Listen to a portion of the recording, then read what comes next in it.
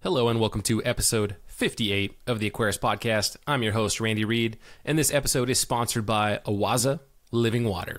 And uh, we're going to do a little bit of a different ad spot today. So I'm just going to peruse the OASE website with you, and we're going to check out some of the awesome products that I haven't talked about yet, or that I haven't talked about yet, I should say. Did you know that at store.oase-usa.com you can buy heaters, you can buy Aqua In Out sets. So if you want a quick water change on your system, you can pick that thing up. OASE fish nets, aquarium cleaners, uh, spiral brushes, magnet cleaners, which are always super handy if you don't want to stick your hand in that tank. Digital thermometers, which I do run on one of my tanks. The Fish Guard, which is a pretty cool automatic feeder. You should check that out. Uh, let's see here. What else do we have? Scissors, tweezers, high quality stuff. I have a pair of each of those. Very, very nice. Uh, replacement scraper blades. What else do we have going on here? The Biomaster, of course, the canister filter that I've talked about several times, and I've got a couple running in my fish room. Uh, you can get it with the thermo, so it can take an actual heater insert or not, um, or without. So if you don't want to run one. The Cleartronic 7 watts UV sterilizer, which I have used on one of my angel tanks when I had a green water explosion, and that thing does work. Uh, the internal BioPlus filter, again with thermo or without thermo, meaning with or without the heater. The Filto Smart, never really talked about that guy. That's kind of a really cool, smaller, compact uh, external canister filter. You should check that out. I've not tested one, but I assume the quality is going to be on par with the rest of the OASE stuff. And we'll jump over to aquarium pumps, which I do have one of these guys, the OptiMax 800. Super sweet, super awesome aquarium pump. Check that out as well. And then all sorts of filter pad replacements. Um, really neat. They've got all sorts of PPIs and a whole bunch of other uh, really cool accessories for your uh, filter product. And so that'll do it for that portion of housekeeping. The next part of housekeeping in the pre interview section is going to be what did I say it was? We're on episode 58, people. This is over a year of bringing you high quality interviews with other fish nerds. At least I hope it, they've been high quality interviews with uh, other fish nerds. I like to think so. And so this is going to be a little PSA, and that's a podcast service announcement. And so what I'm going to ask you folks have you liked? Have you shared? Have you commented? Have you done any of those things to engage and help to promote the Aquarist podcast? Uh, I don't ask you folks for money. I never will. Uh, but what I will ask you to do, though, is just uh, share this with some fish nerds. Share this with your fish club. Share it with anybody that you think is interested in hearing somebody ramble on and talk to other fish nerds. Hopefully, I'm not the one rambling, and it's other people that are rambling about their awesome experiences in our hobby. Just like we're going to have in about 10 seconds in this episode, you're going to hear an amazing interview with Alyssa Bentley. So please feel free to share. Um, you know, sharing is caring, and I hope the uh, yeah. I hope this unscripted interview was a little bit, or interview, I should say. I hope this unscripted intro to the interview uh, a little bit different. You know, want to work on my ad hoc game, if you will, when it comes to the pre interview section of the show. So I hope you enjoyed it. And enough of me rambling, on to the interview. Today's date is Wednesday, May 29th, 2019. My guest today is Alyssa Bentley. Alyssa is a fellow member of the Greater Seattle Aquarium Society. She's very active on online discussions and auction participation, as well as the HAP and BAP contest. Alyssa's also going to be a regular fixture on the Corvus Oskin YouTube channel in the summer. And today, we're going to talk fish nerd things and learn more about her. So, Alyssa, welcome to the podcast. Thanks for having me, Randy. No, absolutely. And this this conversation in general is very, very much long overdue. So it's been you know over a year since I've been a member of uh, the GSAS, the Greater Seattle Aquarium Society pretty darn sure that you've been a member for longer than I have. Um, I'm almost positive I've, I've seen you at all the club meetings, and just kind of that introvert uh, self. Like I haven't introduced. Well, we've said hi to each other. Like we've definitely said hi, um, but yeah. we've never really had a chance to to you know talk anything too involved, fish nerdy. Um, but we did touch base at AGA, and that's where you know I'd asked you if you wanted to come on the podcast, and you know you were gracious enough to say yes. So um, yeah, so the the listeners get to come along as you and I finally connect and just talk about fish nerd stuff. Sounds good. I really do like doing that. So. it's it's kind of fun, right? Like when you've got more than like one fish tank, I think your personality just kind of lends itself to wanting to talk about your fish to other fish nerds, like people that will actually care. Yeah, yeah, that's actually why I joined uh, the GSAS um, in the first place. You know, when you try to talk to people who don't know about fish other than, you know, like guppies exist and goldfish probably shouldn't be in a bowl. Um,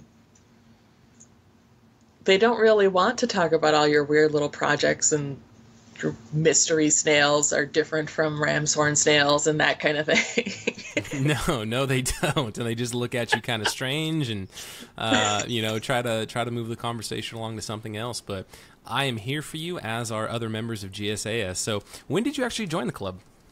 Uh, November of 2017.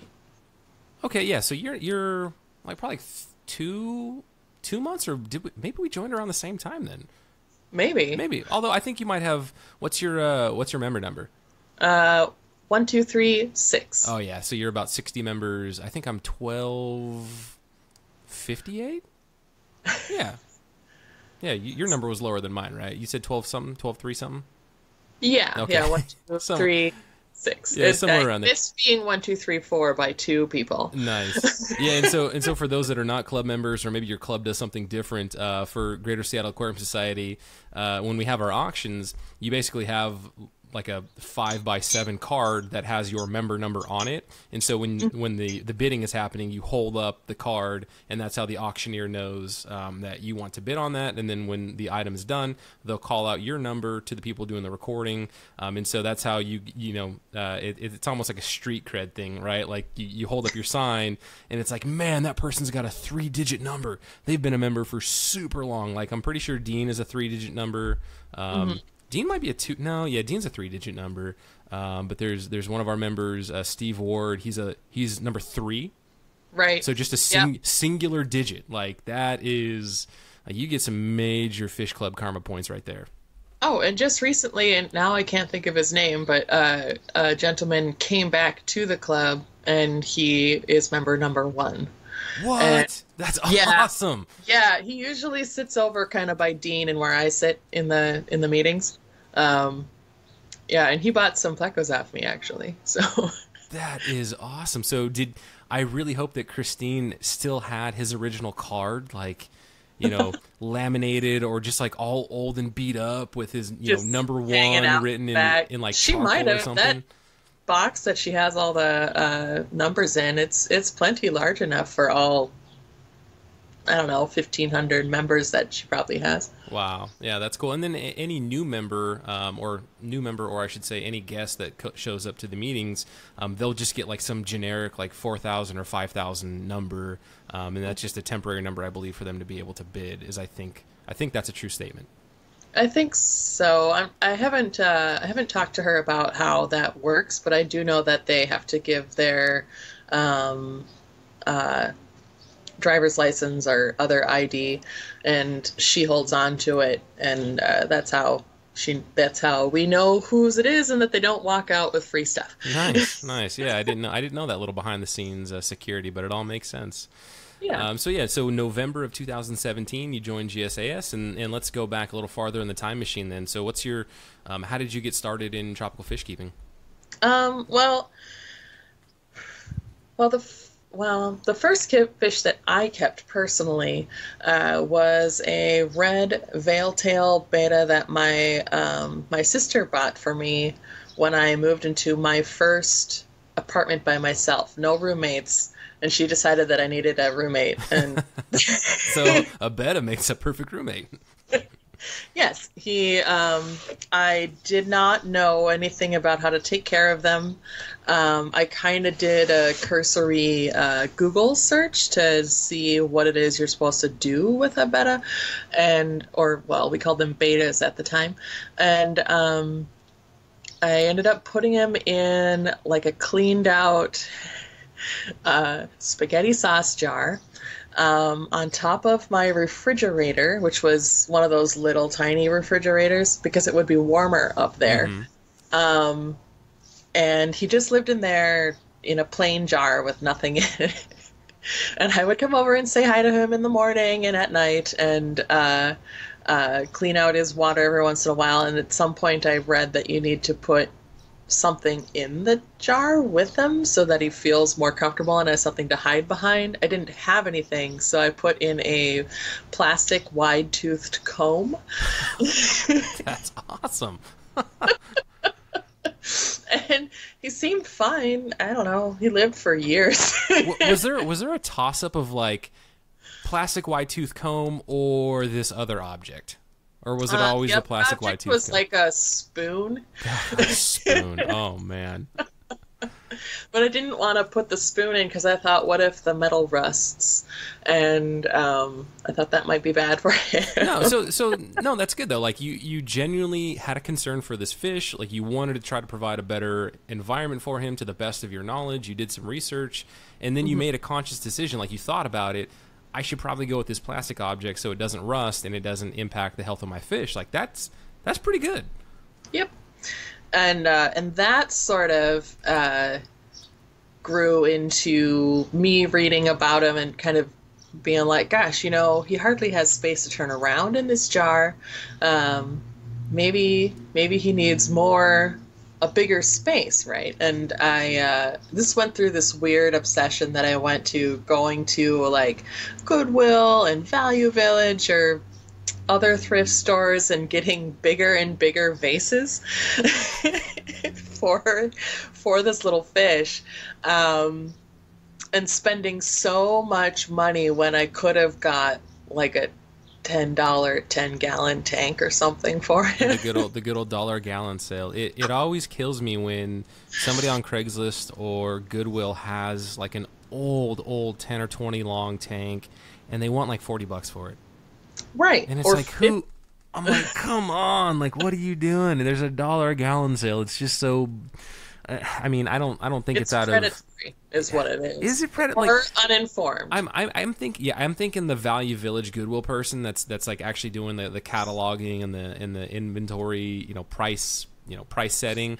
I feel like they just have no concept and are like this has got to be forty dollars right like that. Well, the thing is, is the thrift stores and stuff they price by weight, not by actual value of the item. oh Unless it's something with a uh, like a brand name or something, in which case then you find it in the special part of the store. I've been nice. a lot of thrift stores. So so the title the title of this episode will be Alyssa Bentley on thrift store pricing and bettas and spaghetti jars. Apparently, yes. Apparently, that's that's where we're going. Um, on the on the point of the name Beta, right? So you started saying beta, and then you started hearing people say beta. Were you resistant to adopting beta? um, no, it was just hard. Because I was, I was a little resistant. Like I kind of dug my heels in a bit. Like I'm like, no, I've been calling this thing a, be- a beta fish for you know thirty some odd years of my life, and now all of a sudden I'm supposed to to, to say beta. beta? It, it just I dug in a little bit and reluctantly, you know, I, I've since converted and actually now like the brain just naturally goes to beta. I don't it, it, like it, it's not even a thought to say beta, but I'll admit like I dug my heels in a little bit. Well, it it depends on. So, I grew up in Minnesota, and I, don't know if you've heard this this movie called Fargo. Oh, it's a wonderful- that's a wonderful movie. Has an extremely exaggerated Minnesotan accent. Is it exaggerated? Um, it is, and or at least I grew up in the Twin City area, which wherein the the Minnesota accent is not quite as strong, um, and because of that, well, in part because of that movie, um, I sort of realized that my accent was a joke.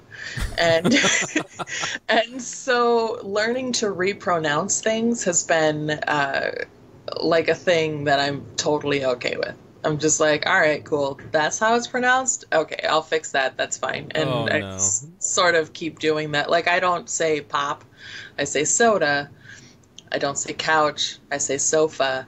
You know, things like that. It, it, it's it's uh it's just sort of a th- like I just tried, especially when I moved out to to Seattle in 2006.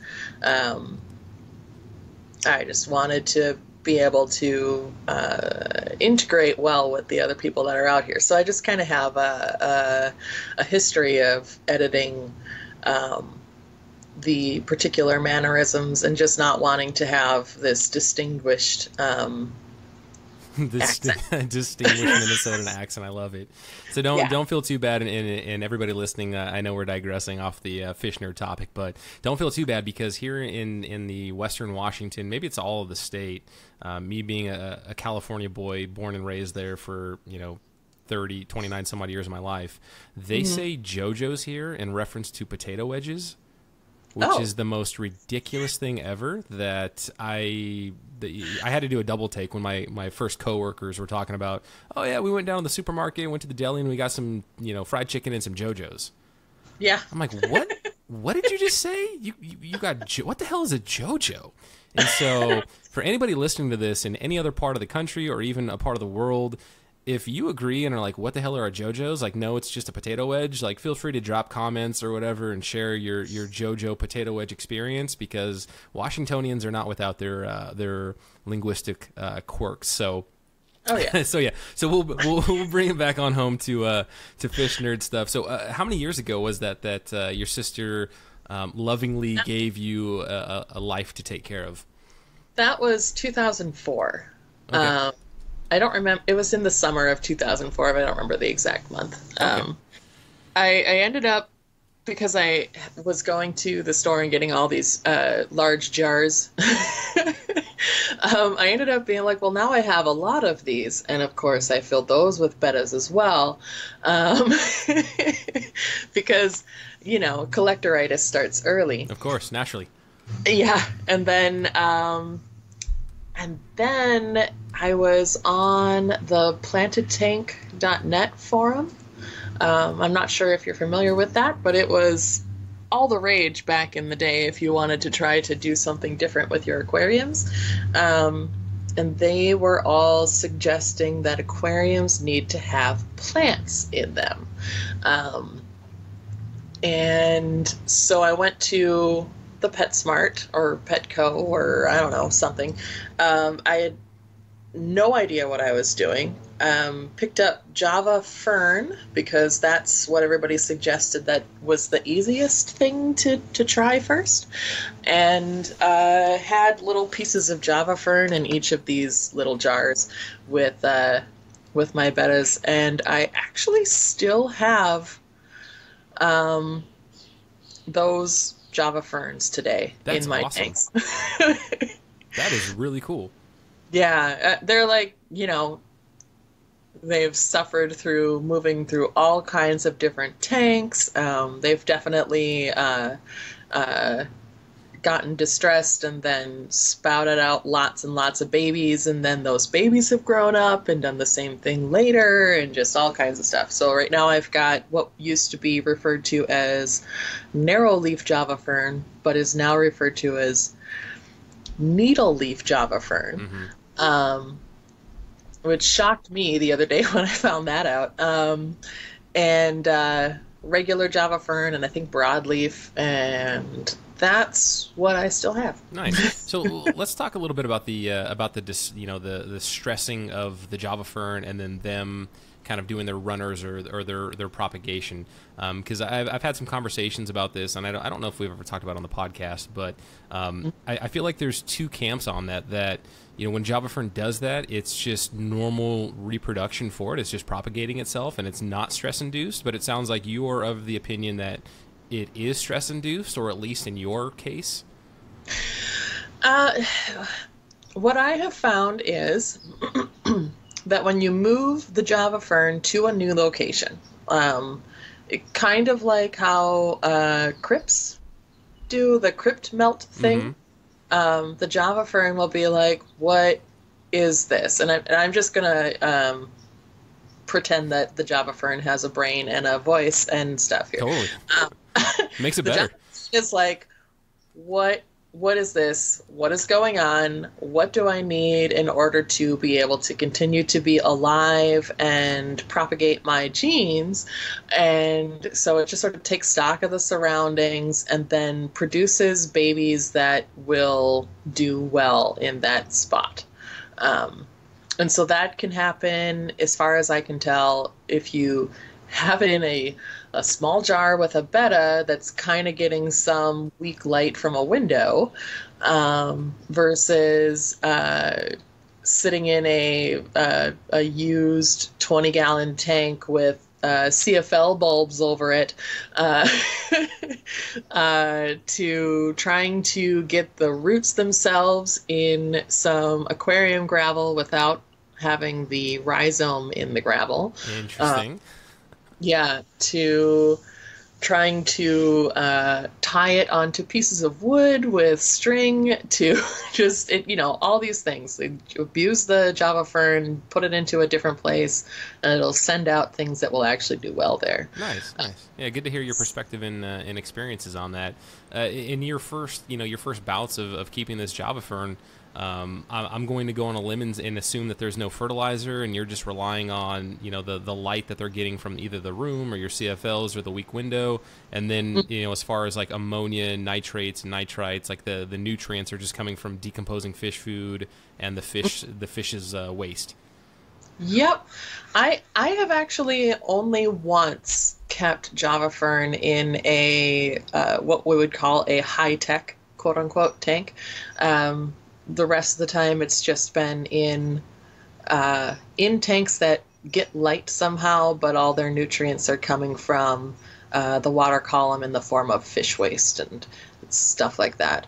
Um, I when I when I when I did move my some Java fern into a tank that had highlight and CO two and uh, uh, liquid fertilizers and all that, I ended up, it all died and reformed in a new way, which was kind of fascinating. And then it got covered in uh, blackbeard algae and died back again and reformed again. And I decided to stop fighting that fight and went with okay this is my lower light low tech plant you're just gonna stay in there yeah i've, I've had uh, my personal experiences with java fern have been kind of hit or miss um, in, in, two of my tanks right now that are quote unquote high tech um, it's now it's now finally thriving after probably like a year and a half, but very early on, um, there were battles with blackbeard algae, which I would just go in and scorch earth. I'd either hydrogen peroxide directly on it, or um, just cut the pieces off altogether that had blackbeard algae.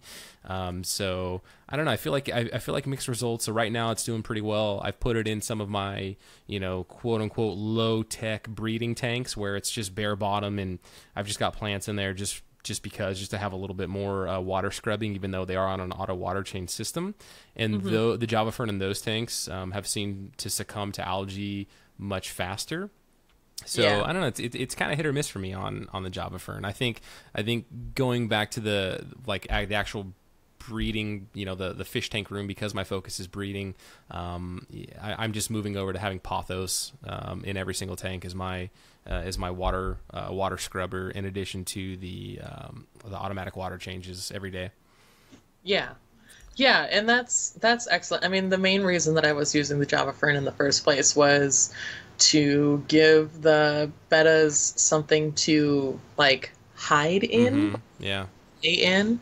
Um, whether or not it was actually soaking up nu- uh, nitrates and such was kind of beside the point for sure, me. Like sure. I, these early tanks didn't have filters or heaters or anything. Mm-hmm. I was I was a very bad fish mama. I understand, and I will never do that again. I promise. Internet. but you but were you you were at least doing your kind of a regular water change though. Oh yeah, yeah. It's just you know if you if you ever go on the betta forums and you'd be like, oh, I've got this five gallon something or other and it's not filtered or whatever, people will say, oh, you need to do 100% water changes twice a day and blah blah blah. Oh, man. Like... if I, I've been I've now been to fish farms and I've seen how fish are betta fish are transported. Yeah, uh-huh. no, um, yeah, you're you're doing just fine. Yeah, the the mm, I yeah, I mean, I love bettas, and I do not like talking to people who also love bettas. That's awesome. Unfortunately. so, so let's go back to your. Um, so now you've got Java Fern in some of these, in in a lot, I guess I should say, of your um, eclectic vase collection from the various secondhand stores. So good job repurposing material. Um, uh-huh. So then, how does it how does it expand from there? Like, how do you start building up like an armada, an armada of actual like rectangular, you know, glass boxes? Well, what happened was was I um, I and the guy that I was dating at the time uh, decided to move to Seattle on kind of a whim, um, and packed up my cat and whatever would fit in my car and um, a couple of bettas that I decided to keep. The rest of them I had rehomed, um, and drove across the country.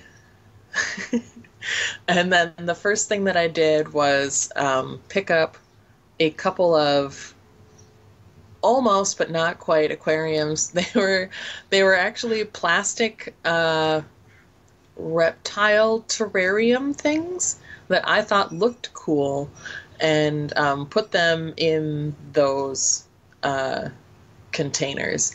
Um, I don't know why I didn't just get an actual rectangular aquarium. I'm not sure where my head was at, but these these uh, plastic containers were much much larger. They were probably ten gallons each, um, and I got um, gravel and water wisteria, and used those. Plus, of course, the Java fern because of course I kept those.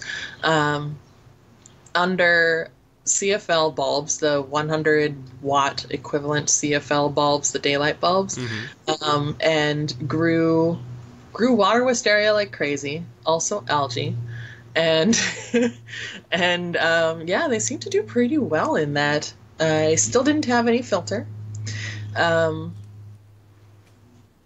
but yeah, I had just had these two tanks, and then at some point I found a used 29 gallon acrylic tank on Craigslist for thirty dollars, and uh, that seems like a good deal. Yeah, it was pretty good, um, and at the time I was still because my priorities were backwards, and we did not like I literally just had what would fit in the back of a Saturn nice. uh, car. Um, I was still sleeping on the floor. Tank, tanks before your own comfort, right? Yes. your priorities are straight. I like this. You are you are a fish nerd. the the aquarium sat on the floor too. I don't actually remember how I did water changes with it. It's just That's awesome. But I had a hang on the back filter. Um, and yeah, and I, and I started keeping. I, I had a, a male betta and two male dwarf gouramis, which did not work out. Um, and I will not recommend that anybody try that. It was very distressing. Um, however, I did find that female bettas and male dwarf gouramis works well. Mm-hmm. Yeah, I've heard that. Yeah. Um, you just can't, yeah, you just can't mix the males of or like a, a male betta with a, a male gourami. Mm-hmm. It kind of makes me want to try female gouramis and male bettas, but eh, another time. um, and then I, I ended up getting a an acrylic 45 gallon with an overflow uh, aquarium. This was probably this was several months later actually, and I had at that point picked up a bed and that kind of stuff. So I, I had taken care of myself a little bit, um, and got angelfish with that. And this is probably early 2007. Um, and I grew up these angelfish, and uh, two of them paired off, and I brought the rest of them back to the store. And uh, I started breeding angelfish and selling those to the store, and um, so that kind of got my interest in breeding fish. I had never bred fish before ever that's in my. So, that, that's cool. So I, I assume it was accidental then, right? Oh yeah, one day, let's see, I had a dwarf tiger lotus in the tank, and it was catching enough light and enough nutrients that it was happy enough to start sprouting off these big beautiful leaves right in the front of the tank, mm-hmm. and these two angelfish just laid right on one of the leaves, and um, and I got to watch the whole thing from the laying to them hatching to the babies swimming around and uh, feeding them very finely crushed up adult angelfish food. Whoa, whoa, whoa, whoa! so you're telling me that you raised angelfish without baby brine shrimp? Correct. That's impossible. I know it's completely impossible, but it happened. No, but possible, but I, I, growth rate, right? Growth rate. Had you been doing baby brine shrimp, probably would have been a little bit faster, but nonetheless, so you you were being successful with just some crushed up, um, like adult flake or adult granules. Um, yeah, it was uh, it was it was basically essentially goldfish flakes. um, I do not remember what brand. This was a long time ago. Sure, um, sure, no, no worries. but I just would crush it up as fine as I could um, and feed it in there. And at some point, I got this idea that I should probably try baby brine shrimp, um, but I couldn't find frozen baby brine anywhere, and so I just got regular um, brine sh- or ba- regular frozen brine shrimp and um, started feeding that into the tank, and the babies did actually eat that Nice. because they were big enough at that point. Um, yeah, so they, I mean, they, they grew. I did a lot of water changes. And so was this now? Was this your research that you had been doing um, on water quality led you to do that, or was it just something instinctive, instinctively? You're like, man, I should probably, you know, there's there's more fish in this tank now. I should be changing the water more regularly. well, I, I was on the uh, the plantedtank.net, and um, other people had trod this path before me, and they said that if you want to breed angelfish in order for the fry to survive, you need to do daily water changes. And so that is what I did 25% every day. I would get home from work and I would uh, do a water change and feed the babies. And I just wanted to do the best that I could. And this was no research or anything because it was the first time I'd ever done it. But you had but you had good results though. Yeah, I did. And then at some point I realized that there were there was too much biomass in the tank, but they were also not big enough to sell. And so I started doing um What led you to th- what led led you to believe that there was too much biomass? it just looked crowded. well, if you're doing 25% water changes though, but I guess in hindsight, you would think so. I just in my head was like clearly it's too crowded in here.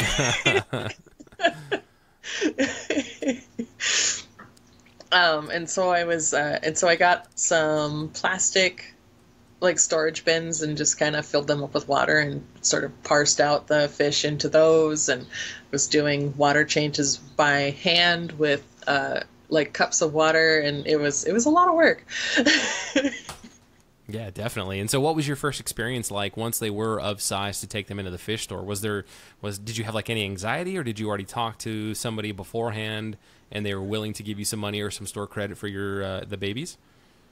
I oh I had a lot of anxiety. I um I thought surely they're just going to tell me, you know, go away, strange lady, with your fish. We don't need more fish.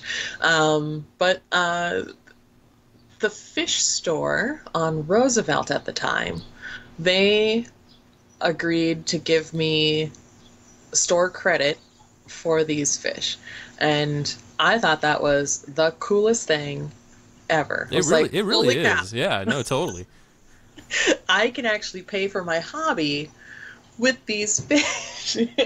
the addiction feeds itself. What? I know it was crazy, um, and that worked out really, really well.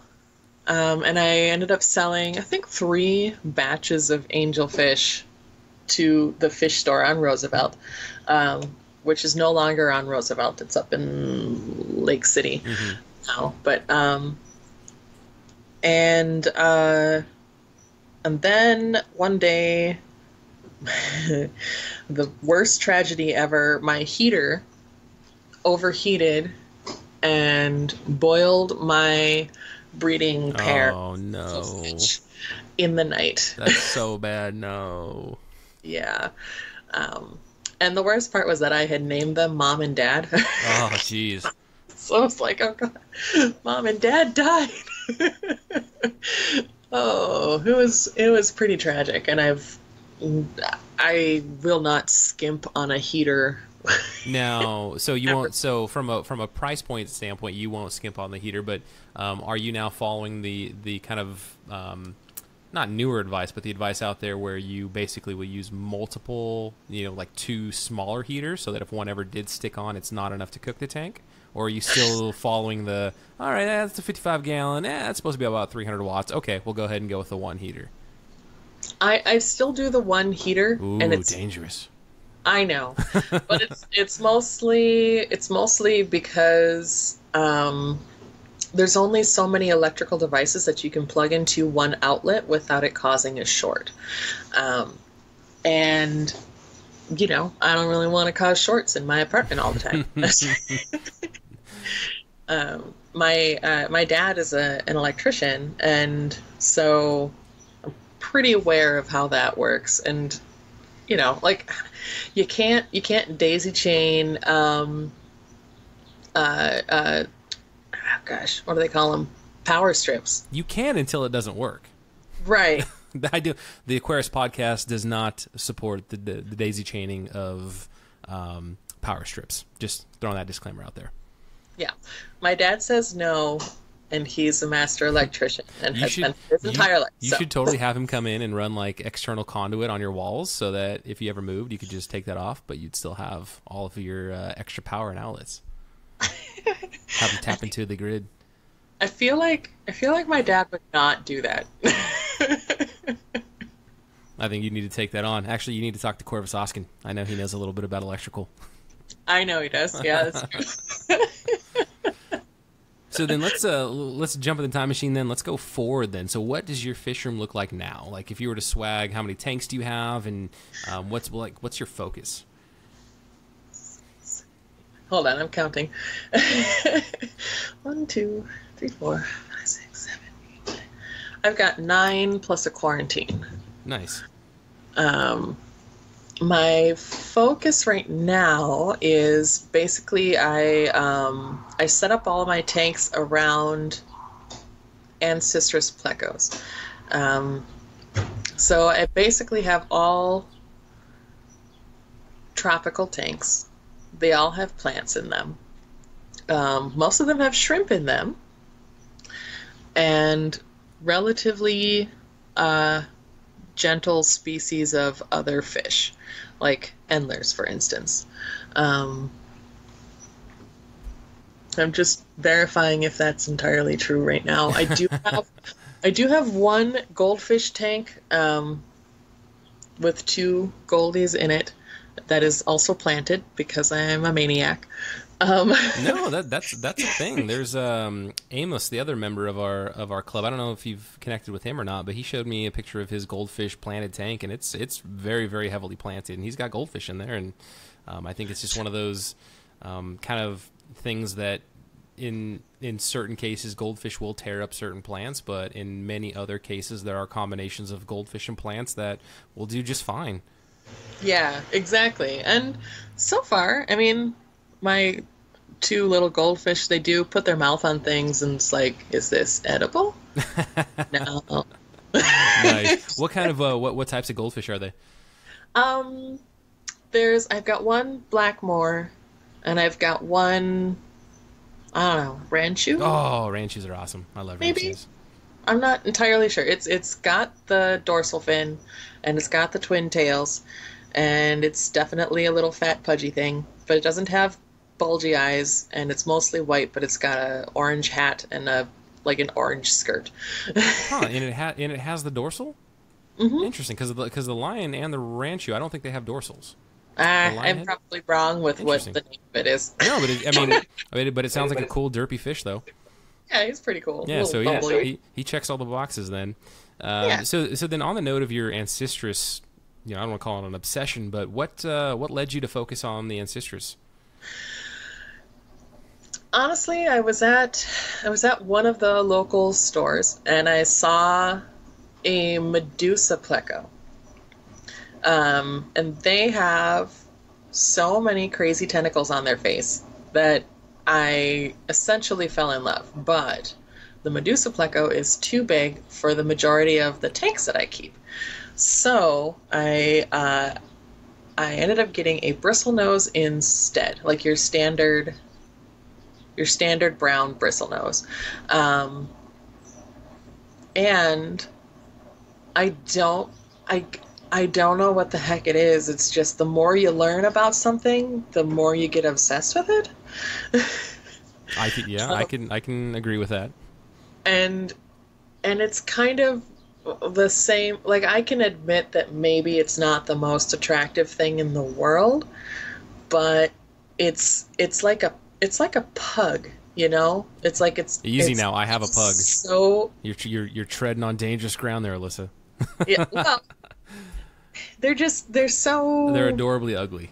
Yeah, they're so ugly that they're cute and Yeah. So I'll say for for my experiences with the bristle nose, like right now, if I were to say in my fish room, what's my favorite tank? It's probably going to be the 40 breeder that is just overflowing with um, albino bristlenose plecos. And I've posted a couple pictures and videos of them just demolishing either zucchini or like uh, big hunks of Repashy at the bottom.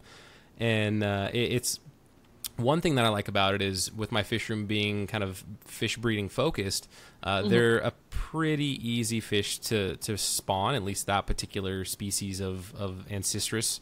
Um, Right. So it's nice to have success, and all you really have to do is feed it. Coupled with automatic water changes, you know, it's kind of it's going to be real hard to mess this up. Just let them do their thing.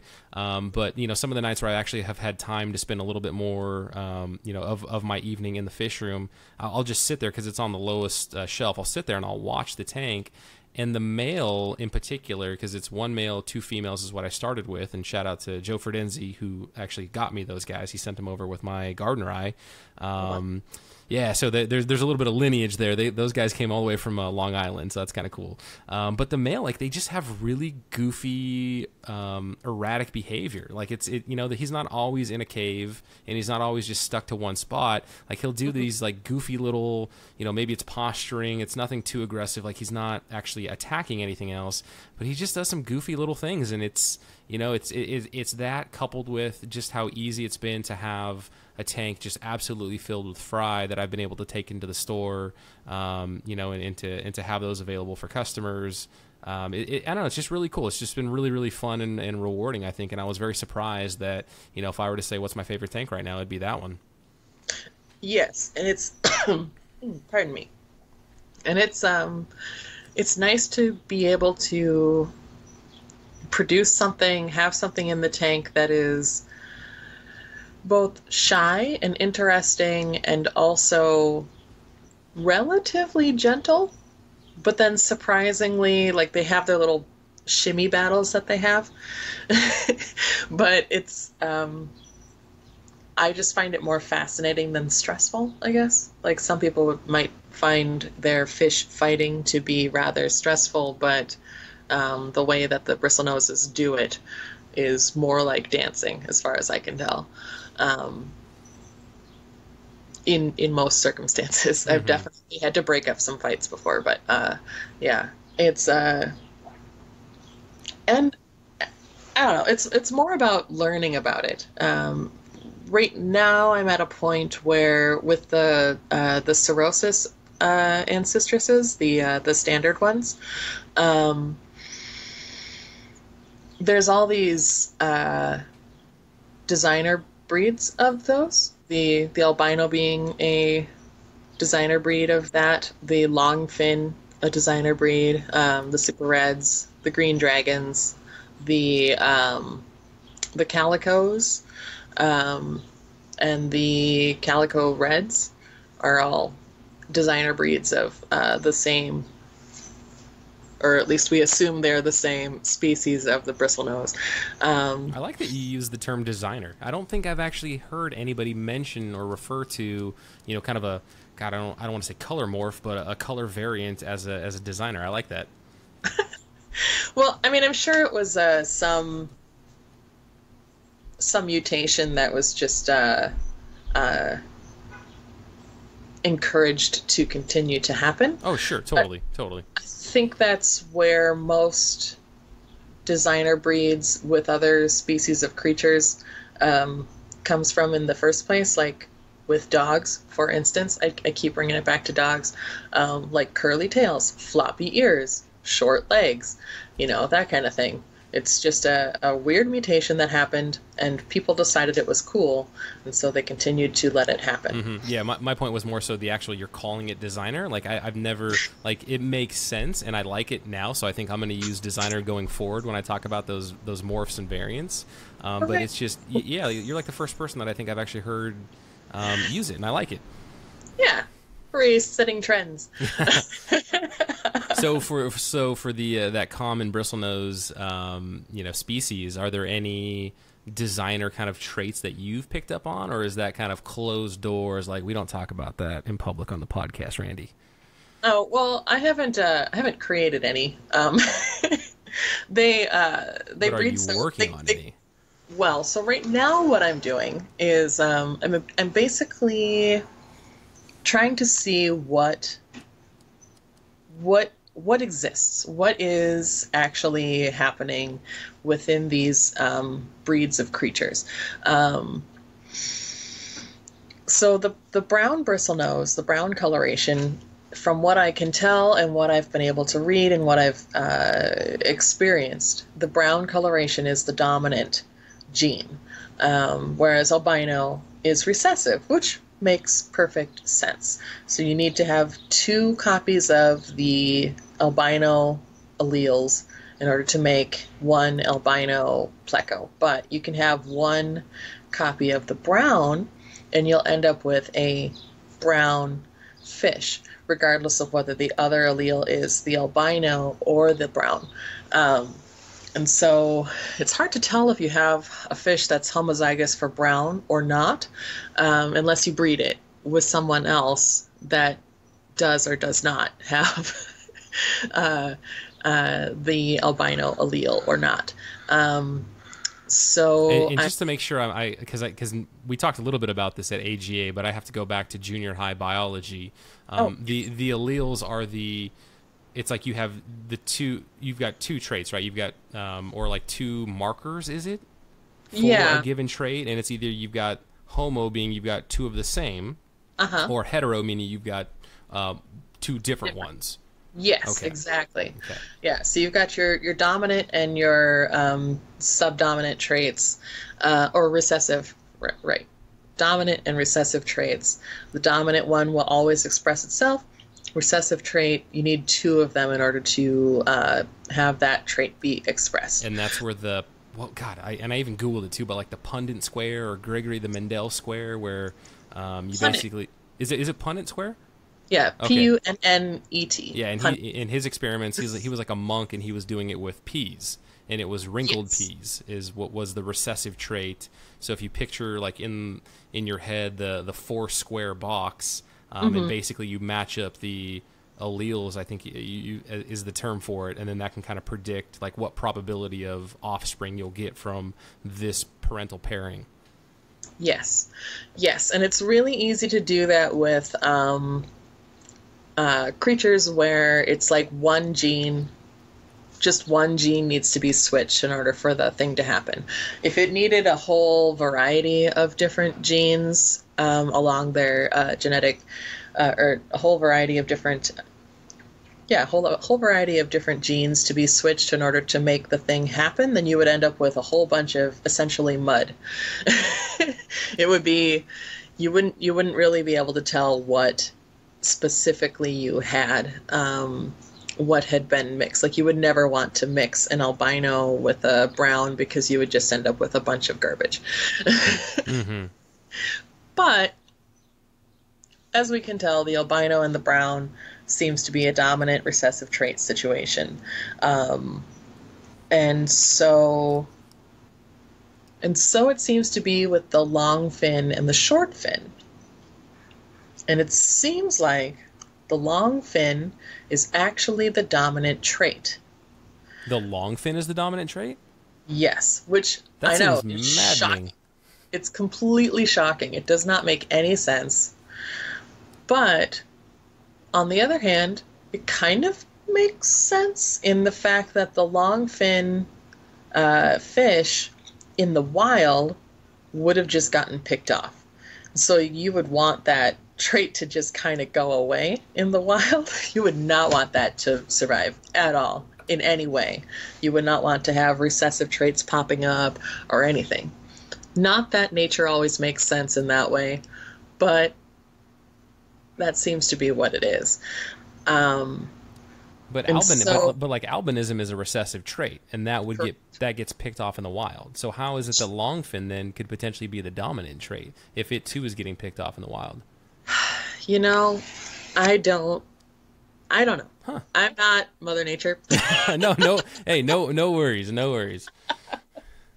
I've I've I've literally gone around this in my head like 50 bazillion times and um, there's a woman who knows way more about plecos than me um, Is this is this? goes by barbie Yeah, Barb, Pleco Barbie. That's awesome. Yeah. because she's talked at the club before a couple years ago, I think.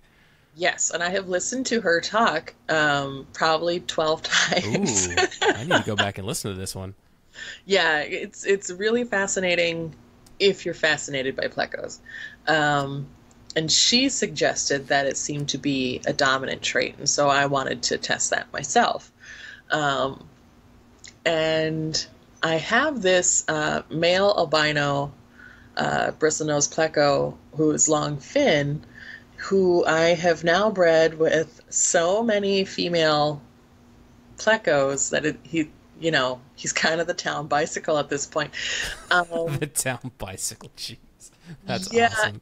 he well he he's like the best dad um so the the the bristle nose hangs out in a cave the male will hang out in a cave and fan the eggs and um, raise them um, until they're ready to escape from the cave and i have bred a couple of other males uh, but they they seem to be kind of like like they don't really care they don't hang out in the cave nearly as well as he does.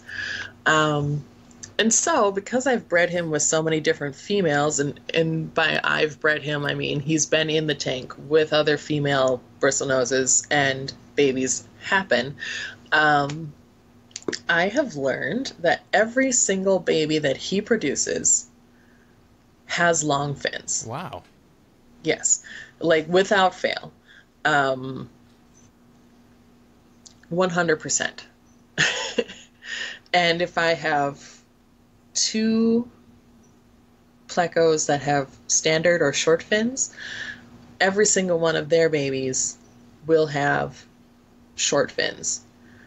But then on the other hand, I did have a pair of long fin green dragons, and about 25% of their offspring had short fins and 75% had long. Um, and if you do your Punnett squares, that would suggest that the long fin trait in this species is dominant. And it also suggests that um, my male albino is homozygous for the long fin trait, which is pretty handy. Yeah, no, definitely. And so then the green dragons would be heterozygous for the long fin trait. Yes, Or both the ma- okay, male both and the female would both be heterozygous for it. Wow, that is super cool. hmm That is awesome stuff, Alyssa. Yeah. Um, and I recently found out um, this was kind of by accident. I had moved.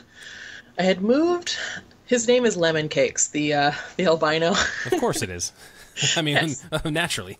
yeah. So he's one of the few that I actually have a name for. Um, he was getting into a fight with the brown male uh, standard fin bristlenose that I had um, in the tank that they were both in, and I thought for sure Lemon Cakes was going to die. So I just was like, okay, whatever happens, happens. I scooped him up, put him into the tank that I had my females just kind of hanging out in because I don't like them breeding all the time.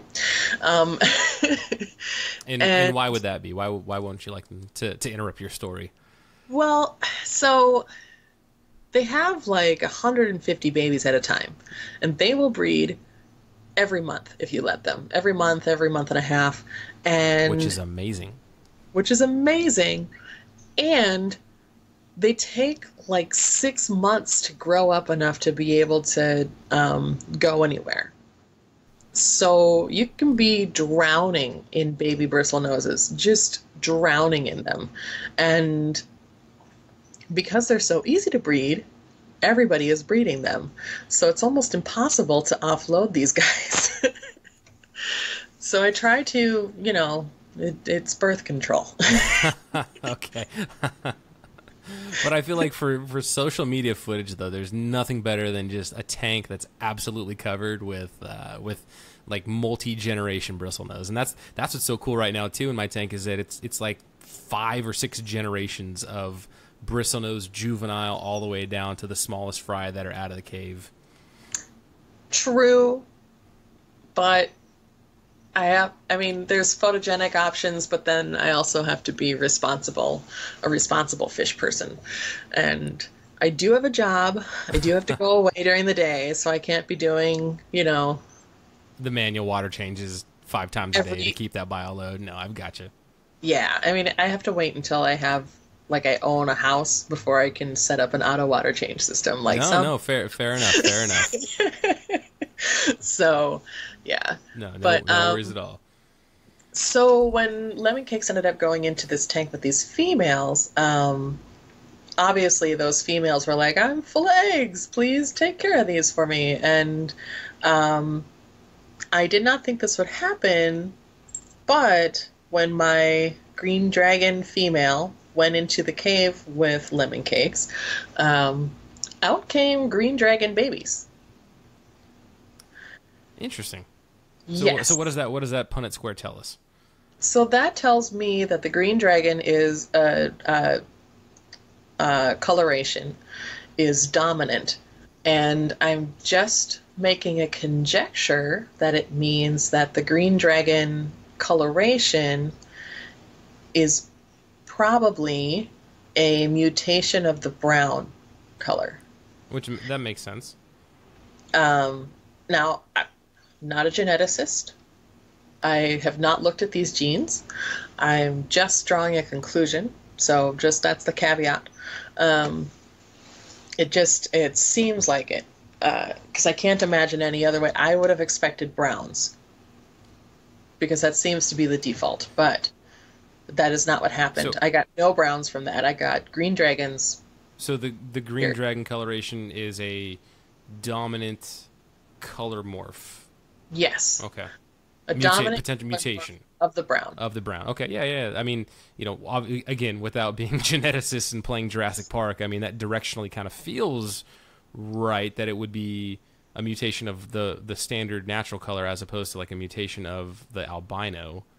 Right. Um, and, and as far as fins go, um, did is lemon cakes is long fin, right? That's what we've yep. established. Okay. Um, so then what happened with the finnage? They were 100% long fin. Oh, cool. Yeah. Um, the female is heterozygous for long fin, um, and so she has long fins. Um, and then lemon cakes, well, he's homozygous for long fin, and we've already established that every single baby that he raises has long fin. Um, so yeah, so that's what happened. So.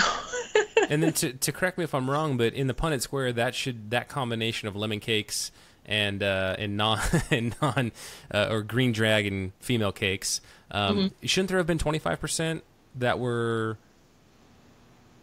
Wait, no. Nope, nope, nope. Because he's dominant. Never, never mind.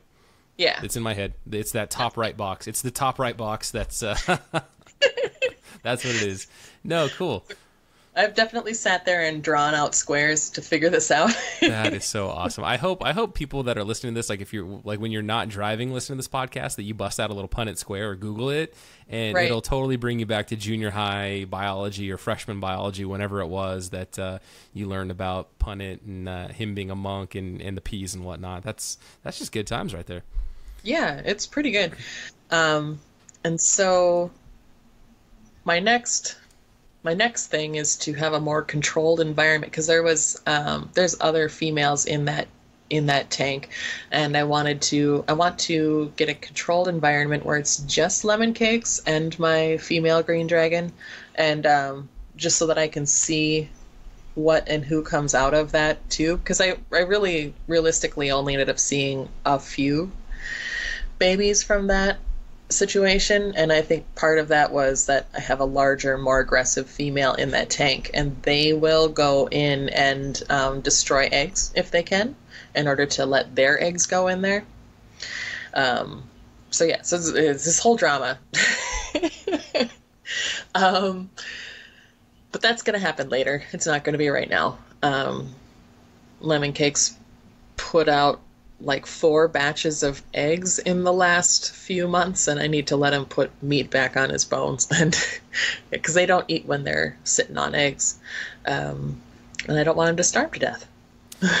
Yeah no that's that's actually a good piece of insight. So so given then again that I have so many generations of bristle nose I'm gonna go and take a look at my male because um, I, I know for sure that I've seen him out. Like I see him when I drop hunks of uh, of Repashy in there, as long as he doesn't have eggs that he's guarding, he he's out and he's eating. So um, that is a good note, though, just for me uh, to make sure that you know I'm practicing good husbandry. And if, if my stud needs a little bit of a recuperation time, that I can scoop him out and put him in one of the spare tanks and let him, you know, have a little me time to, to rest and relax. Oh yeah, and it really depends on how how strong the parent uh, drive is for your your fish. Um, some are like, whatever, I'm hungry. I'm gonna come out here and do this. I don't care if you have eggs all over. I'm just gonna not do that and they'll go and they'll eat and then lemon cakes just seems to have such a high uh, parent drive that he does not care he will just sit there in the tube and yeah, and I get I get worried for him sometimes, so I have to intervene sometimes. Um, but then the other interesting thing is the the super reds, um, and I received a handful of uh, standard tail super reds from Corvus Oskin because you know, um, and he because we, we were trading stuff and. Uh, I want to try to breed long fin super reds from my longfin albino and see if I can, through a couple of generations, create the longfin super reds. Even though it would be way easier to just buy longfin super reds. well, um, well, I mean, what you laugh about that, but I mean, what I love is that you know, it's it's the you know the scientific inquisitive mind that you have that you know it's not necessarily about having said creature or said fish it's mm. you know this experimentation to understand like how these um, morphs and these you know these various fish types come around and everybody listening to this like should really encourage and, and thank you for this kind of work because that's how we end up with these you know cool and different designer fish that you know you come out with like the the black ram right the black the dark knight black ram that you know right. through you know multiple multiple generations this guy in uh, in Israel or wherever he was from um, ended up breeding this you know kind of almost all black uh, fish. And that's you know like we have to we have to applaud and encourage you for wanting to do that kind of stuff. And I think that's just amazing and fascinating. Yeah. And it's it's a thing that's been done before, um, obviously, because we have the longfin super red. Um, but I feel the need to to try to understand it. Um, like I want to know is the super red coloration a, another morph of the brown or is there like what what is it is it a dominant trait is it a some other trait? Um, is it a recessive trait? Um, and I was reading online, and right now I can't remember whose blog it was, but there was one uh, local, not local. Um, there's one fish breeder in the United States that uh, many years back was was only able to get the short fin super reds and wanted long fin and was not able to acquire them from anyone like they were all over in Europe and not in the United States and so they ended up breeding the long fin uh, albino with short fin super reds that they had uh, raised, and ended up with all browns, but with brighter spots. Like I guess they were slightly more attractive brown bristle noses. And then we're able to back breed those that generation, like a long fin from that generation with uh, their super reds again, and able to get a few super reds, long fin super reds from that pairing. Um, so I want to try to walk in that same pattern and see if that also works for me. No, that's awesome. And I think, but uh, to me also, it's what else are you going to uncover along the way? Like you, you know, you say that you're not really going in uncharted territories that people have done this before. Tr- mm-hmm. True, but on your journey though, you know genetics and throwing mutations like that's just all that's just all random chance and maybe in your fish room even though it's not a massive breeding facility maybe you get some color more for some genetic variation that it's like wow what is that and you're able to document it and you're able to to you know maybe line breed it so it breeds true and we've got this new like awesome amazing uh, super attractive bristlenose variant Right. Who knows? I mean, what happens if you breed a green dragon with a super red? That sounds like a I don't I don't know. That's a pop question. Yeah, I have no idea. the the main thing is is they do take um, like a year to a year and a half to grow up to be um, old enough to actually breed. Mm-hmm. And so the the super reds that I have are probably five months old. So I've got at least another year before I can even start down this process. And then it'll be another year and a half before I can breed those babies back to, you know, another, to one of the adult super reds. Mm-hmm. Um, I don't know what gender my super reds are. Maybe they're all male. Mm-hmm. and then I'll have to uh, beg Joel to lend me a female. Because I know he has those. well, I've got uh, I have short fin super reds that are breeding right now, and they actually came from uh, from Cory. So you know that's uh-huh. some, that's some pretty cool lineage to be like, yeah, I've got Cory McElroy's uh, super reds, and they're breeding. So I have those. I've got those short fins. So if mm-hmm. you need those, I got you covered. Um, and then I did get in six or seven uh, super red long fins, and so it's probably going to be about another six months before those guys are um, going to be breeding size. So they're just growing out right now. But I got your back, Alyssa. If, you uh, if Joel doesn't have you, I've got you. Nice, thank you. Yeah, yeah absolutely. I, and, and, again, like this whole this whole like long game, this patience, like everything that you're doing. You know, people in this hobby should be thanking you. People should be going and finding you on Facebook and saying, "Alyssa, awesome stuff. Good job. Keep up the experimentation. I hope you find something cool. Share your findings with us. You know, put together a fish, uh, and this is actually legit. Like, put together your fish presentation and talk at all the clubs and all that good stuff. Like, I'd love to, I'd love to see you present at GSAS on this. Um, get yourself a year free membership or whatever it is we do for our, our guest speakers.